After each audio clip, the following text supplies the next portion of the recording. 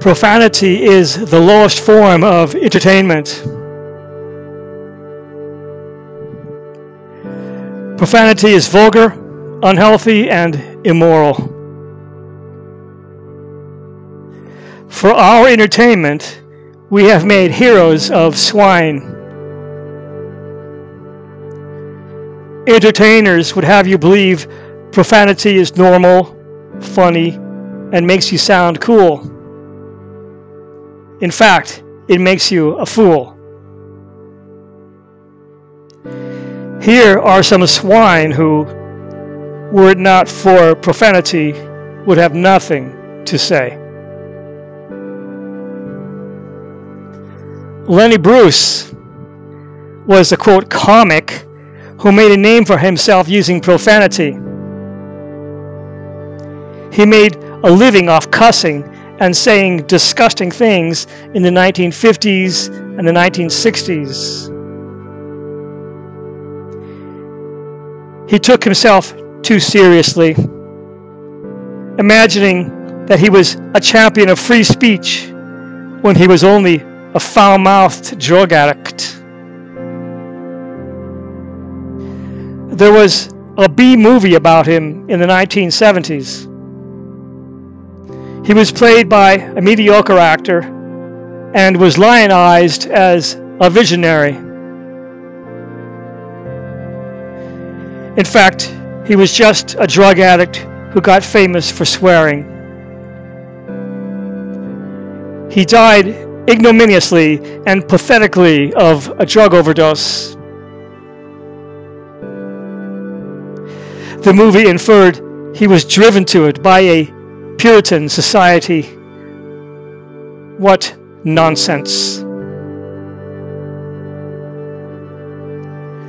George Carlin was funny as the hippy dippy weatherman on television in the 1960s. Then he did the routine seven dirty words and became famous. He made a career out of having a filthy mouth and trashing social norms. Fools follow fools and he had a big audience. Millions hung on his every word as he trashed modest people. Like many entertainers, be they actors, musicians, or athletes, he scorned the country that made him rich. A modern, quote, comic made this telling statement When you need a laugh, make a joke about your dick. Seth Rogen takes this notion to new lows. Many modern quote comics make their living off profanity. They make fools of the naive young who did not hear such things when they were children at home. Advertisements for new movies assure customers the content will be vulgar and offensive. Entertainers think this is pure genius.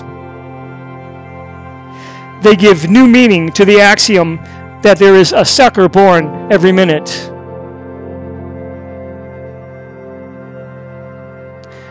Hollywood gets rich normalizing profanity.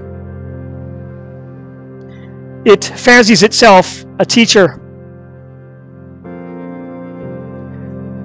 Cussing with the words Jesus Christ and God routinely break the second commandment. Even modern children have learned to text OMG. To shock the sensibilities of modest people is considered artistic genius when it is, in fact, just a peep show. To be appalled by profane language is as uncool as the kid who turns down meth in front of his friends, or as the woman who dresses modestly and sees to it that her daughters do the same. The famous writer Philip Roth could not write a page without a swear word. His forgettable work depended on it as did the work of many modern writers.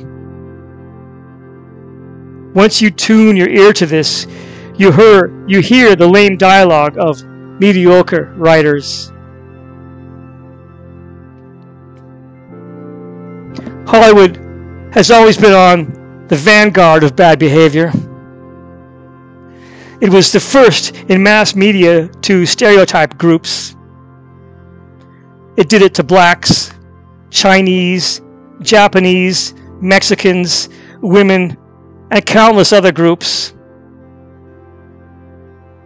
Now, with the same sense of certainty and righteousness, Hollywood stereotypes Christians, whites, heterosexuals, and Midwesterners. Free speech, my eye.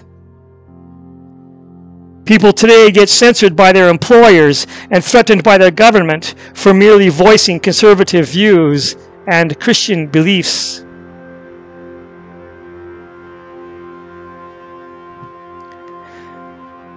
Marlon Brando is thought by entertainers to be an artistic genius. He himself said that actors were not artists. He raised two children.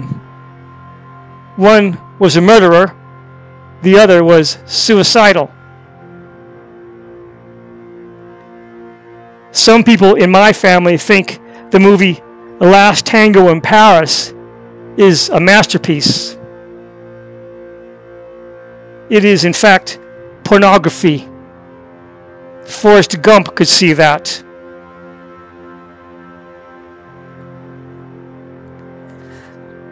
I know men who think that the late author Charles Bukowski was a genius. Strip away the profanity and pornography in Bukowski's writing, and there is nothing but a pathetic alcoholic. To argue that his degradation is the brilliance of his writing is to bathe in a sewer and pretend like we all wash there.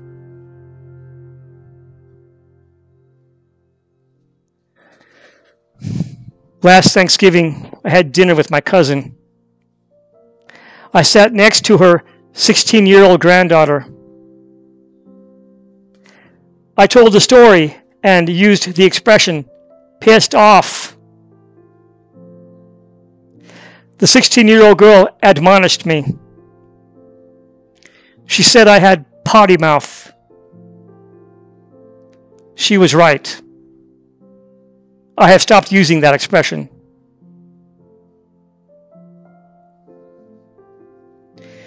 We do not need laws against profanity. We need only to spend our money on entertainment of which we approve and to shun that which we do not. Ignore the sellers of prurient interests. They may fool you once and get a laugh out of you, but when you listen carefully, you hear their resentment towards modesty. Do not let them fool you twice. Spend your money elsewhere.